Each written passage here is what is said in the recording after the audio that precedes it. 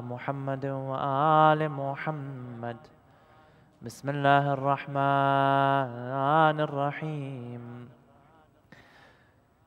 اللهم إني أفتتح الثناء بحمدك وأنت مسدد للصواب بمنك.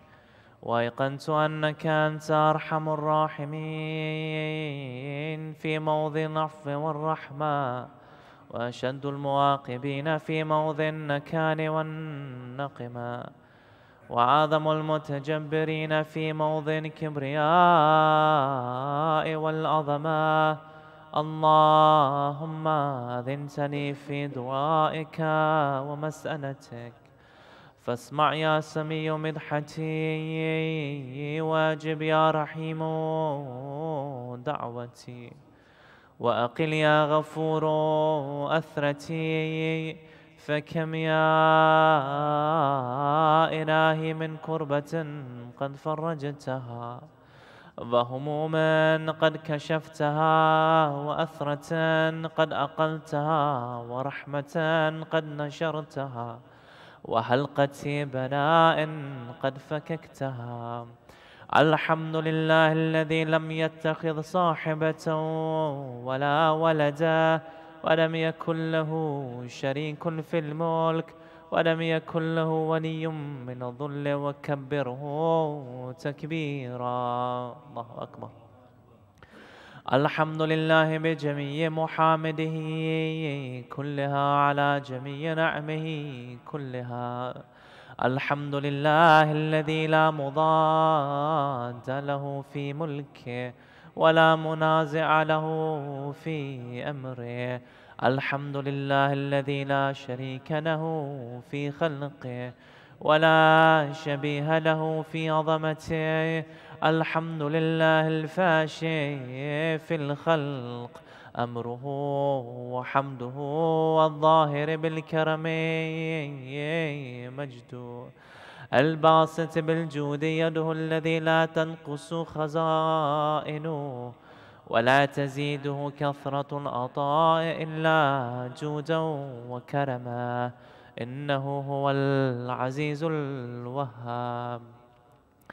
اللهم إني أسألك قليلا من كثير ما حاجة بي إليه أذيما وغناك عنه قديم وهو عندي كثير وهو عليك سهل يسير. اللهم إنا عفوك عن ذنبي وتجاوزك عن خطيئتي وصفحك عن ظلمي وسترك على قبيه عملي وحلمك عن كثير جرمي عندما كان من خطئي وعمدي أطمعني في نسنك ما لا أستوجبه منك. الذي رزقتني من رحمتك وأريتني من قدرتك وعرفتني من إجابتك فصرت أدعوك آمنا وأسألك مستانسا لا خائفا ولا وجلا مدلا عليك فيما قصدت فيه إليك. فإن أبطأني تبت بجحد عليك ولعل الذي يبطأني هو خير لي لعلمك بعاقبة الأمور. فنمر مولا كريما أصبر على عبد اللئم منك علي. يا يا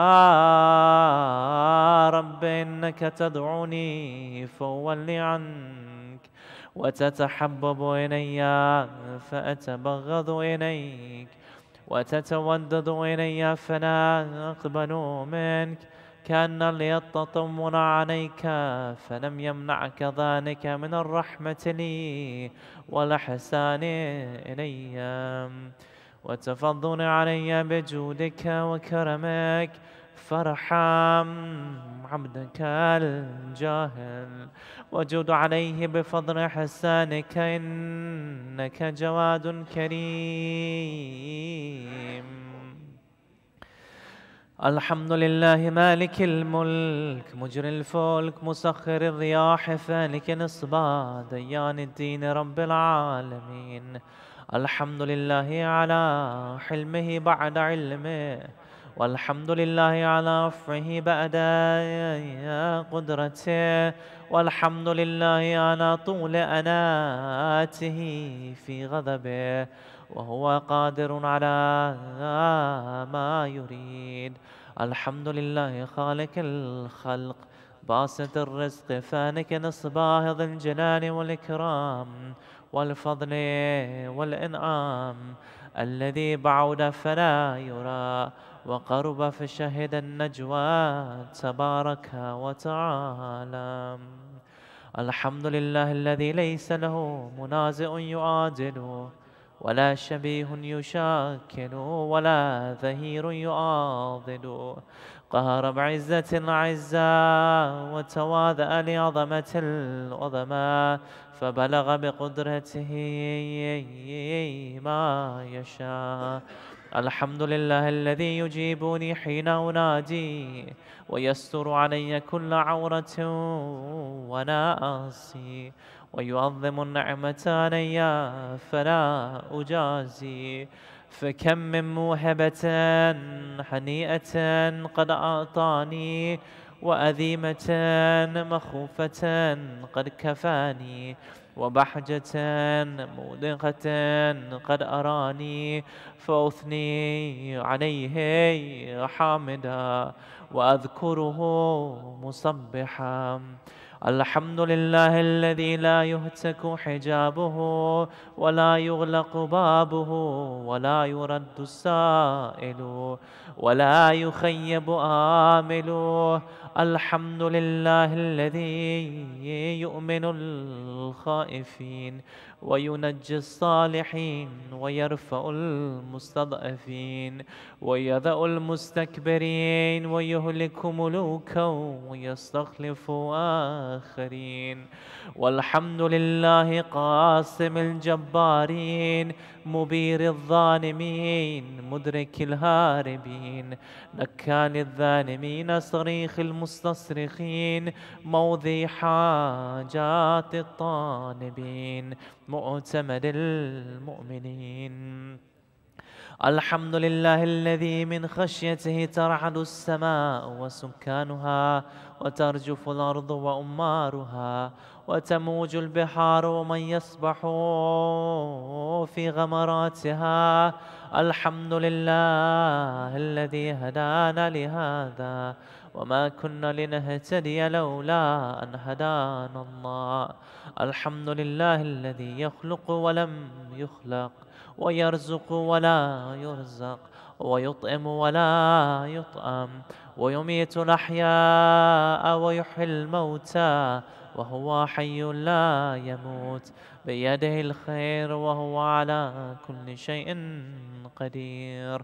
اللهم صل على محمد عبدك ورسولك وأمينك وصفيك وحبيبك وخيرتك من خلقك وحافظ سرك ومبلغ رسالاتك أفضل وأحسن وأجمل وأكمل وزكى وأنمى وأطيب وأطهر وأسنى وأكثر ما صليت وباركت وترحمت وتحننت وسلمت على أحد من عبادك وأنبيائك ورسلك وصفتك وأهل الكرامة عليك من خلقك.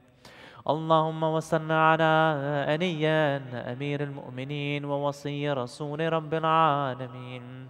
عبدك ووليك وأخي رسولك. وحجتك على خلقك وآياتك الكبرى والنبأ الأذيم. وصلى على الصديقة الطاهرة فاطمة سيدة نساء العالمين. وصن على صبت الرحمة وإمامي الهدى الحسن والحسين سيدي شباب أهل الجنة وصن على أئمة المسلمين علي بن الحسين ومحمد بن علي وجعفر بن محمد وموسى بن جعفر وعلي بن موسى ومحمد بن علي وعلي بن محمد والحسن بن علي والخلفاء الهادي المهدي. حججك على عبادك وأمنائك في بلادك صلاة كثيرة دائمة. اللهم وصل على ولي أمرك القائم المعمل والعدل المنتظر وحفه بملائكتك المقربين وأيده بروح القدس يا رب العالمين.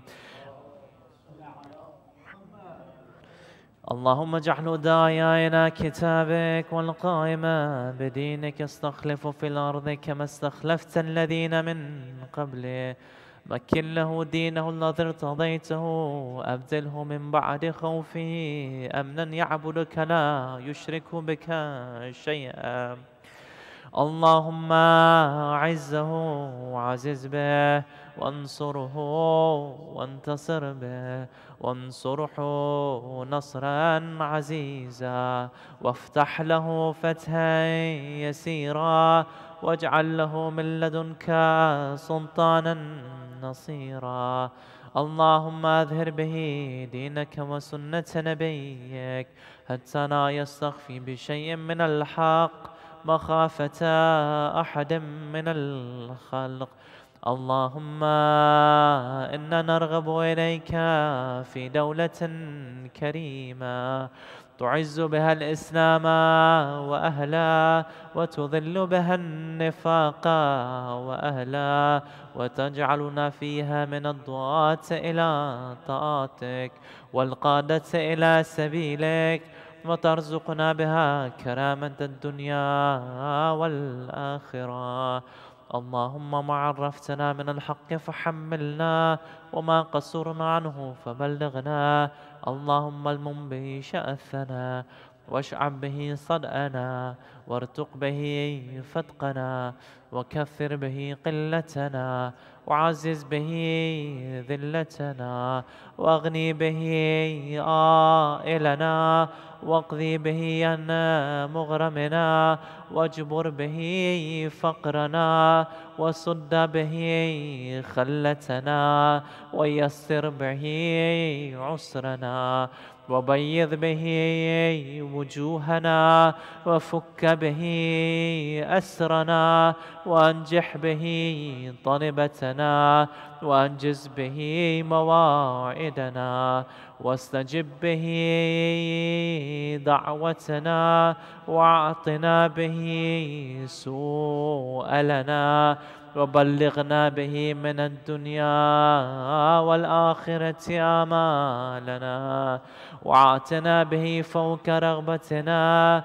يا خير المسؤولين وعوس المؤتين. اشف به صدورنا وأذهب به غيظ قلوبنا. واهدنا به لما اختلف فيه من الحق بإذنك. إنك تهدي من تشاء إلى صراط مستقيم. وانصرنا به على عدوك وعدونا إلى الحق. آمين.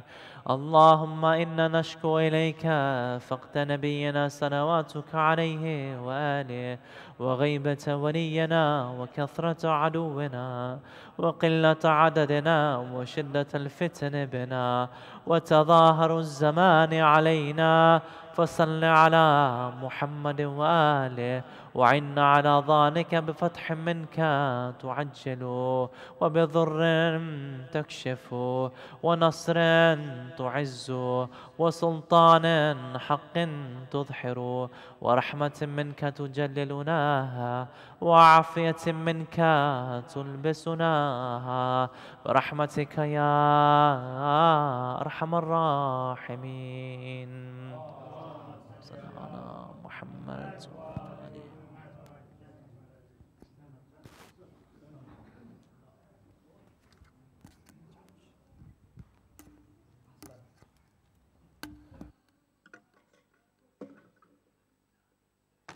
قال محمد وآل محمد صلوات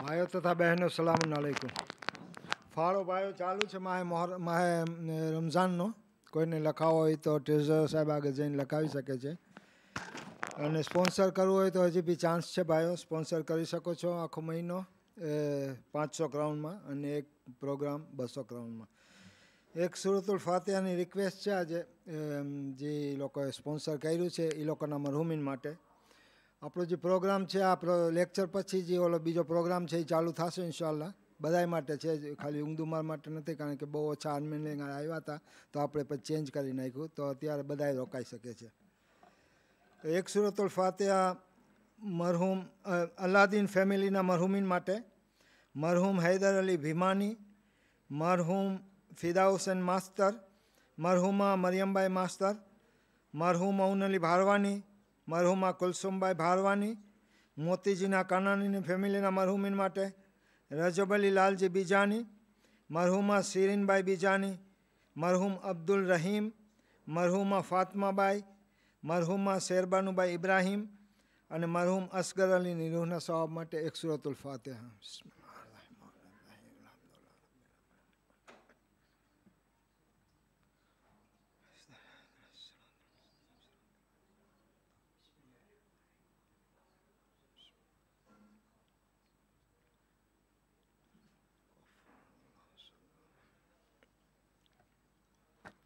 જો રીતના મેં પહેલે બી કીધું ભાઈઓ કે આજે એક ખરાબ સમાચાર આવ્યા. મોલાના આપણા છે એના સાસ, માસીજી સાસુ ખુદાની રહેમતે પહોંચ્યા. તો એને પ્લીઝ ભાઈઓ દુઆમાં, એટલે તમારી નમાજે વહેશતમાં યાદ કરજો, ક્યારેય બી પડી શકો છો આજે રાતના. અને મરહુમા માટે એક સુરતુલ ફાતિહાની રિક્વેસ્ટ છે. તેમનું નામ છે મરહુમા મરજિયાબાઈ અકબર અલી જુમા.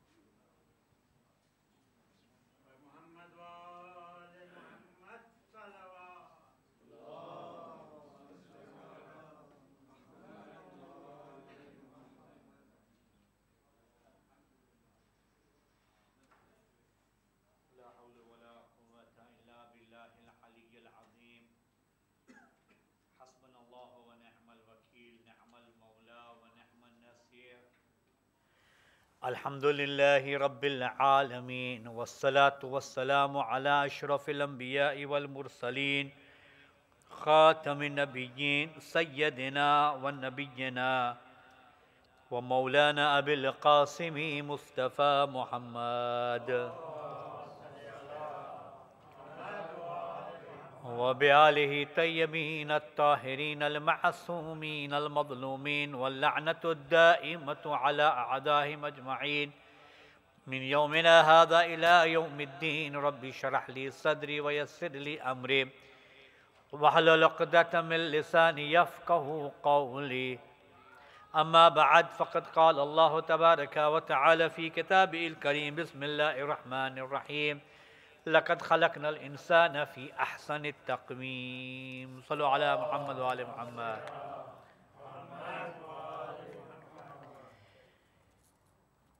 کل میں نے ایک یہ سوال آپ کے سامنے پیش کیا تھا کہ جو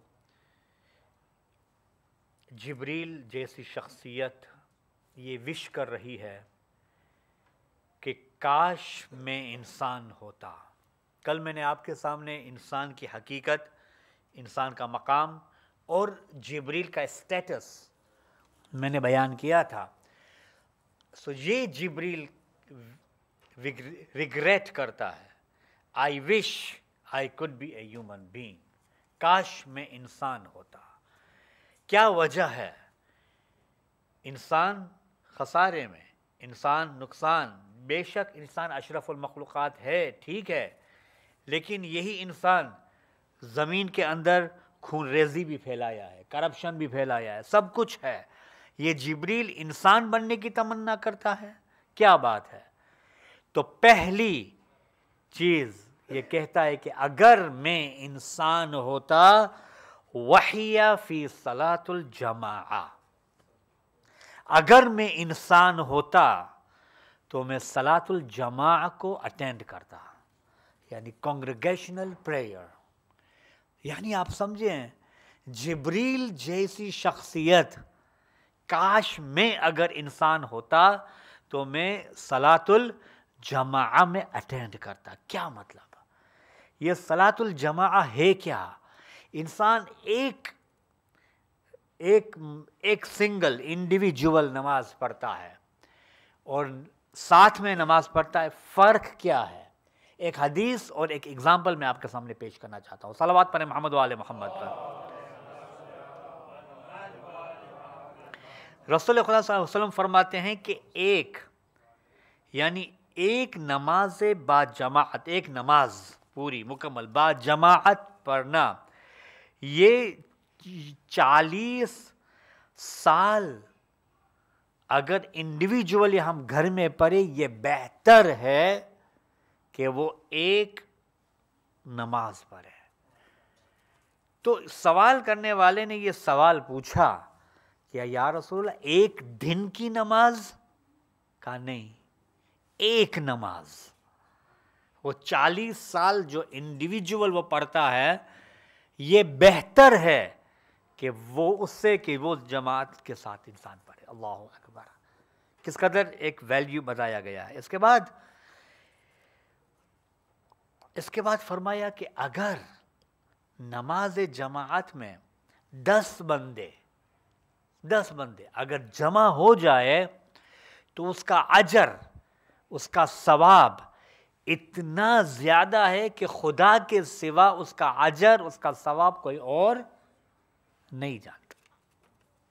صرف سوچنے کا مقام ہے کہ دس بندے اگر جمع ہو جائے کوشش انسان کرے کہ ہمارے پاس الحمدللہ یہاں پہ کتنی فیسلٹیز ہے مسجد ہے اور یہ پروگرامز ہوتے رہتے ہیں۔ انسان کوشش کرے کوشش کرے کہ اس کار خیر میں، اچھے عمل میں اس میں شامل ہو جائے تاکہ ہماری نماز قبولیت کا شرف انسان کو حاصل ہو۔ صلوات پر محمد والے محمد پر۔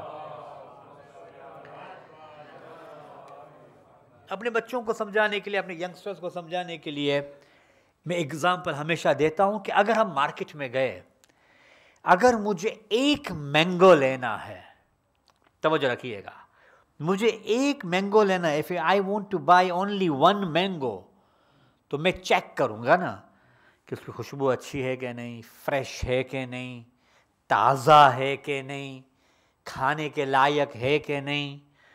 کچھ وہاں پہ تو ہم نے دیکھا ہے کہ کبھی کبھی جو ہے وہ انڈیا پاکستان میں وہ کیا ہوتا ہے، وہ کہتے ہیں کہ نہیں، پہلے میں کاٹ کے میں چاکوں اس کو پورا آم کھا میں نکالوں اچھا ہے کہ نہیں؟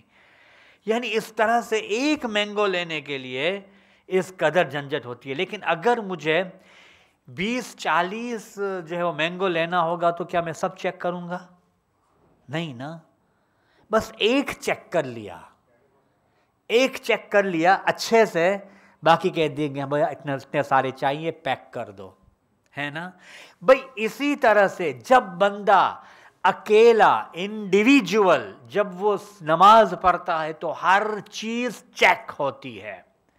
خضو چیک ہوتا ہے سنسیری چیک ہوتی ہے، اس کا مخرج چیک ہوتا ہے، اس کا خیال چیک ہوتا ہے انٹینشن چیک ہوتا ہے۔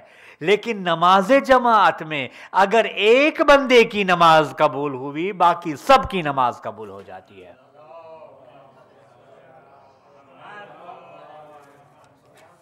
یہ جبریل جیسی پرسنالٹی جبریل جیسی شخصیت یہ کلیم کرتا ہے کہ I wish I could be a human being کہ اگر کاش میں انسان ہوتا تو پہلی کیا کرتا؟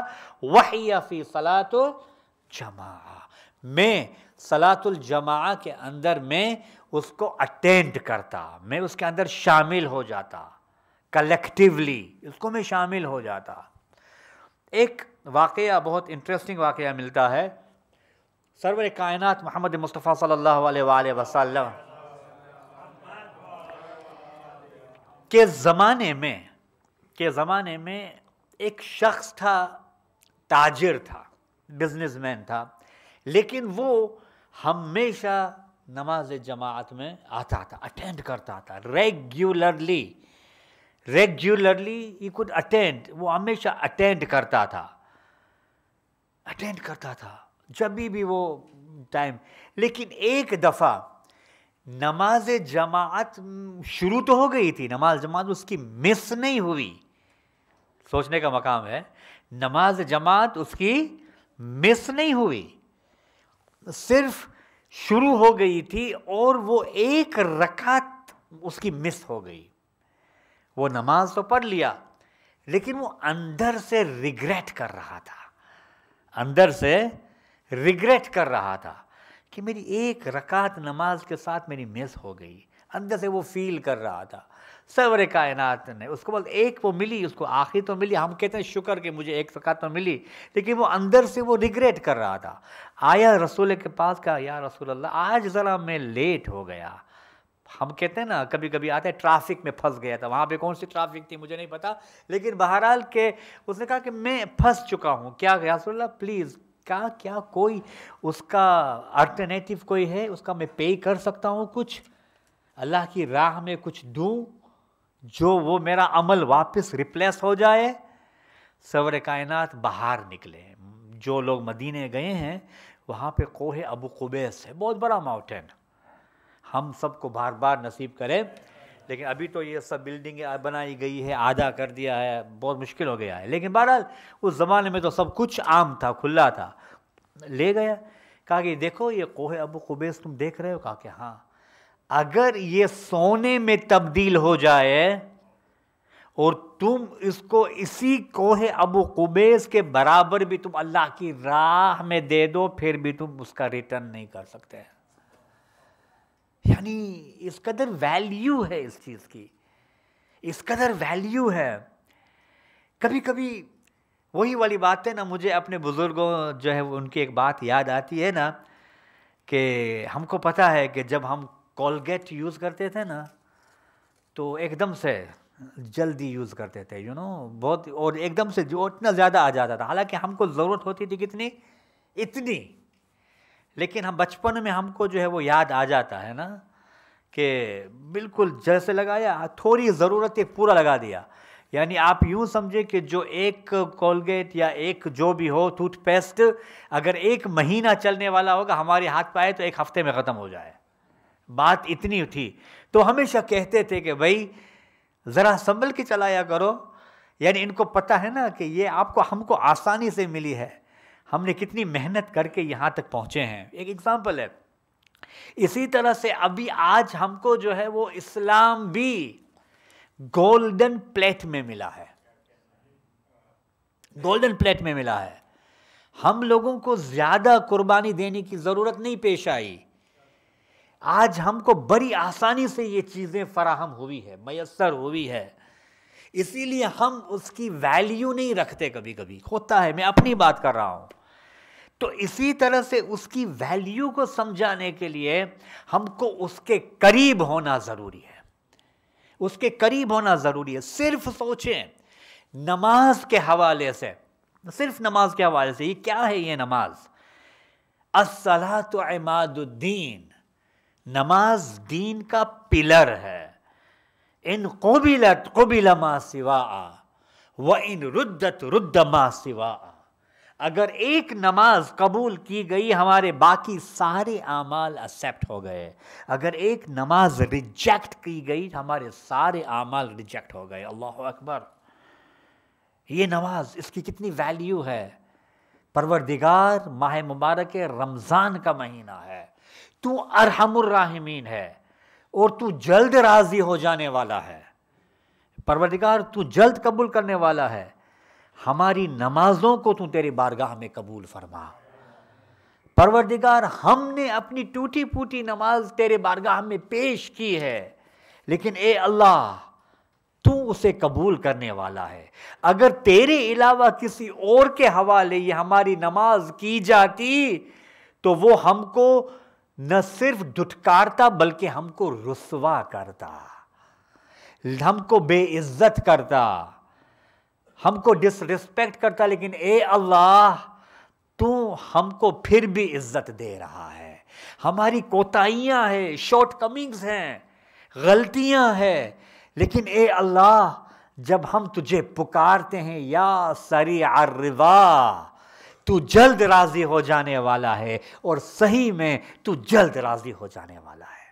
جب انسان اللہ کی بارگاہ میں گر گراتا ہے، جب اللہ کی بارگاہ میں اپنے آپ کو سرنڈر کر دیتا ہے، اللہ کو یہ بہت پسند ہے۔ اللہ کو تکبر پسند نہیں ہے۔ اگر ہم صرف یہ نماز کو دیکھیں نا، یہ نماز ہمیں کیا کیا میسج دے رہا ہے۔ ایک نماز ہمیں کیا میسج دے رہی ہے۔ انسان سوچیں، کیا کہا گیا ہے؟ کہ جب آپ یہ پوری نماز اگر ہم دیکھیں نا ہمیں it is a message for the life یہ میسج آف دا لائف ہے، یہ نماز ہمیں پوری نماز. نماز میں پہلے کیا کہا گیا ہے؟ کہ دیکھو، آپ جب رکو میں ہیں تو رکو کو انجوائے کریں. سجدے کے بارے میں نہ سوچیں. یہ نماز ہمارے لیے میسج ہے. جب آپ رکو میں ہیں، جب آپ قیام میں ہیں تو قیام کو انجوائے کریں. رکو کے بارے میں نہ سوچیں۔ یہ زندگی کا میسج ہے مائی فرینڈ کہ ہم کو جو ہے وہ پریزنٹ مومنٹ پہ انجوائے کرنا چاہیے۔ پریزنٹ مومنٹ پہ ہم کو خوش ہونا چاہیے۔ فیوچر میں کیا ہوگا؟ کیا یہ ساری پنچایتیں یہ ساری جھنجھٹیں اس کو ایک طرف رکھ دیں؟ بس ہم کو پریزنٹ میں جینا سیکھنا چاہیے۔ جب انسان پریزنٹ میں جینا سیکھ جاتا ہے نا، اس کا فیوچر برائٹ ہو جاتا ہے۔ یہ دو سجدے ہم ادا کر رہے ہیں۔ پہلا سجدہ جب انسان زندگی اس کی شروعات ہوئی، زندگی کی ابتدا ہوئی، یہ نماز۔ شروعات ہوئی نا زندگی کی۔ اور پھر ہم لوگوں نے کیا کیا؟ استغفر اللہ ربی وات دنیا میں آئے، گناہ کیا، سب کچھ ہوا اور اللہ سے معافی مانگ رہے ہیں۔ استغفر اللہ ربی و اتوب پھر ہم سجدے میں چلے جائے۔ یہ ہمارا آخری دنیا کا سجدہ تھا۔ یعنی آپ یوں سمجھیں کہ دو سجدوں کے درمیان میں ہم اپنی زندگی گزار رہے ہیں۔ ایک درود پر محمد والے محمد پر۔ دو سجدوں کے درمیان ہم اپنی زندگی گزار رہے ہیں۔ ختم کیا میں آپ کی زحمت کو۔ وقت کتنا تیزی سے نکل رہا ہے پتہ بھی نہیں چل رہا۔ بس ملک الموت کی ایک ہابی اور ایک ڈیوٹی کتنی بڑی بات ہے۔ ملک الموت کی ایک ہابی اور ایک ڈیوٹی ہم سب کی ایک ہابی بھی ہوتی ہے اور ایک ڈیوٹی بھی ہوتی ہے۔ ہماری ہابی بہت اچھی اچھی ہوتی ہے، اس میں نو ڈاؤٹ گھومنا، پھرنا وچ از ویری گڈ اچھی بات ہے۔ اور ایک ڈیوٹی ہوتی ہے، جو ہم کو کام پہ جانا ہوتا ہے، جو ہماری ڈیوٹی ہوتی ہے، یہ ہماری ڈیوٹی ہوتی ہے۔ ملک الموت کی بھی ایک ڈیوٹی ہوتی ہے اور ایک ہابی ہوتی ہے۔ اس کی ڈیوٹی کیا ہے کہ ویدر وی لائک اٹ اور ناٹ وہ تین ٹائم ہمارے گھر پہ وزٹ کرتا ہے۔ تھری ٹائم حدیث میں امام محمد الباقر علیہ السلاۃ وسلام ویدر وی لائک اور ناٹ ہم کو وہ آتا ہے، ہمارے گھر پہ وزٹ کرتا ہے۔ خدا کو کہتا ہے کہ خدا یا آج مجھے آرڈر ہے کسی کو لے جانے کی۔ خدا کہتا ہے no it is now it is too early wait ابھی وہ نہیں ہے۔ بالکل سوچی سمجھ کے بس سب ایک مرتبہ، اور اس کی ہابی کیا ہے؟ جب کوئی انسان اس دنیا سے رخصت ہو جاتا ہے، تو وہ اپنا فیس کو چینج کرتا ہے۔ جو کوئی مومن مرتا ہے نا تو وہ ہینسم بن کے آتا ہے، حشاش بن کے آتا ہے، اسمائلی فیس بن کے جاتا ہے۔ ہم خود سوچیں کہ جب کوئی ہم سے ملے، غصے کے عالم میں ملے، ہماری حالت کیا ہوگی؟ کہ بھئی آج ہم نے صبح کس کا منہ دیکھ لیا؟ ہوتا ہے نا کبھی کبھی ایک جنرل بات کہہ رہا ہوں، بھئی کوئی اگر ہمیں غصے کے حالت میں ملے صبح صبح تو ہمارا پورا دن خراب ہو جائے گا۔ لیکن اگر کوئی ہمیں اسمائلی فیس کے ساتھ ملے تو ہمارا پورا دن اچھا جائے گا۔ ہم کتنے ہیپی ہوں گے۔ اچھا لگتا ہے نا، اچھے وائبس ٹرانسفر ہوتے ہیں۔ سمپل از دیٹ تو اسی طرح سے جب کوئی جب کوئی نماز کا ٹائم ہوتا ہے، تب وہ اور یہ بندہ وزٹ کرتا ہوتا ہے، تو یہ اللہ کو کہتا ہے کہ یہ نماز کا ٹائم ہے، اس نے نماز پڑھی ہے۔ اے اللہ، تو مجھے اس کا فرینڈ بنا دے۔ تو مجھے اس کا دوست بنا دے۔ جب یہ دوست بن جاتا ہے نا، جب لاسٹ مومنٹ پہ وقت آتا ہے نا، تو وہ ہینڈسم شکل اختیار کر لیتا ہے۔ اور اس کو کہتا ہے، تو فکر نہیں کر، اپنا سر میرے زانوں پہ رکھ دے۔ اور اس کی روح ایسے قبض کرتا ہے کہ پتہ بھی نہیں چلتا۔ پروردگار عالم سے دعا ہے کہ پاک پروردگار، بس تو ہم سے راضی ہو جا۔ اور ہمیں وقت پہ نماز ادا کرنے کی توفیق عطا فرما۔ درود پر محمد وال محمد پر۔ امام زین العابدین علیہ السلاۃ وسلام کے پاس ایک شخص آتا ہے اور ایک سوال کرتا ہے کہ مولا، کیا آپ کر، آپ مدینہ کو چھوڑا، کربلا پہنچے، تکلیفیں اٹھائی برداشت کیا، عباس کے بازو کاٹے گئے، خیموں میں آگ لگا دی گئی، سکینہ کو تماچے مارے گئے۔ اکبر کے سینے میں برچھی کا پھل لگا ازغر کے گلے میں ہرملا کا تیر لگا۔ مولا، کیا آپ کا مقصد پورا ہوا؟ ایک مرتبہ امام سجاد نے فرمایا، وہ مدینے میں ہیں، وہ آ چکے ہیں مدینے میں واقع کربلا کو یاد کرتے ہیں۔ مولا حسین کی مظلومی کو دیکھ کے آنسو بہاتے ہیں۔ تو یہی آیا اور پوچھ رہا ہے کہ کیا آپ کا مقصد پورا ہوا؟ جس مقصد کے لیے آپ نے مدینہ چھوڑا تھا، تکلیفیں اٹھائی، پھر سے آپ مدینے آئے، کیا آپ کا مشن کمپلیٹ ہوا؟ مولا سجاد نے فرمایا، گو، جاؤ اور ایک دو رکعت نماز پڑھ کے آؤ۔ وہ گیا، وضو کر کے آیا، دو رکعت نماز ادا کی۔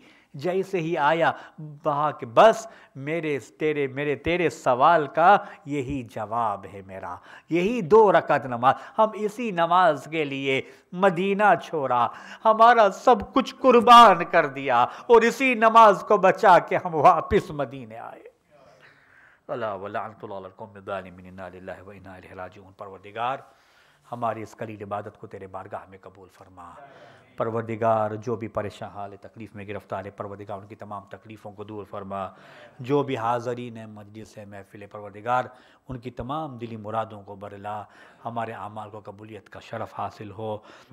اور جو پروردگار، جو مرحومین اس دنیا سے رخصت ہو چکے ہیں، پروردگار، ان کی مغفرت فرما۔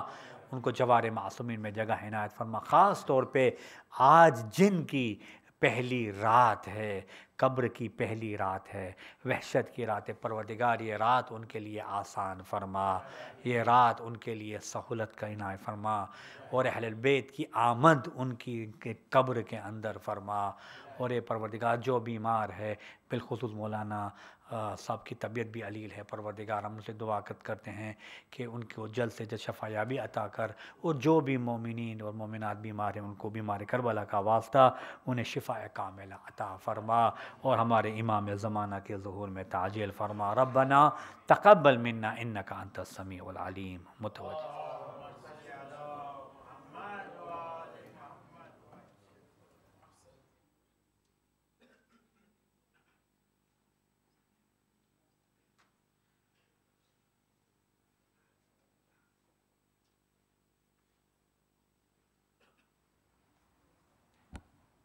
السلام عليك يا سيدي ومولاي يا رسول الله. السلام عليك يا مولاي يا أمير المؤمنين. السلام عليك يا سيدة فاطمة الزهراء. السلام عليك يا مولاي يا حسن المجتبى. السلام عليك يا مولاي يا أبا عبد الله الحسين.